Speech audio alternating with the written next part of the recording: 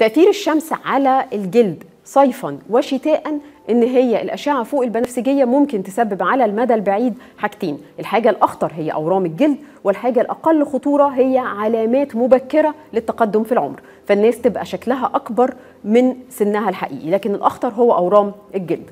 طبعا ده بيتزايد في الصيف وبيقل شوية في الشتاء لكن أشعة الشمس حتى في الشتاء الأشعة فوق البنفسجية موجودة لأن هي بتمر من خلال السحاب وبتمر من خلال الإزاز وبالتالي هي واصلة لنا.